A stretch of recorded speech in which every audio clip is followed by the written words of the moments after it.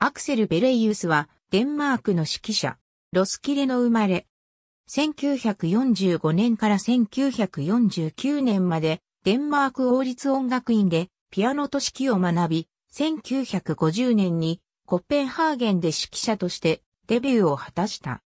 その後ローマ、ウィーンやグラインドボーン等でオペラの経験を積み、1953年からオーデンセ劇場の指揮者陣に加わった。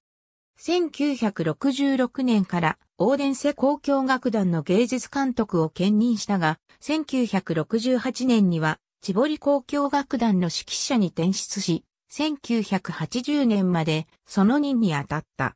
以後はフリーの指揮者としてデンマーク内外のオーケストラに客演を繰り返した。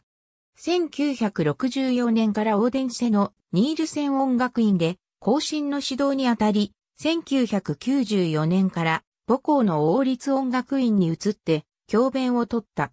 コッペンハーゲンにて没。アーカイブされたコピー。2014年3月9日時点のオリジナルよりアーカイブ。2014年3月9日閲覧。アクセルウェリジューズ ERD D91R。2016年7月10日時点のオリジナルよりアーカイブ。2018年6月17日閲覧。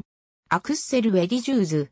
2018年6月17日時点のオリジナルより、アーカイブ。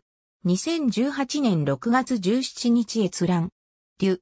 2016年7月10日時点のオリジナルより、アーカイブ。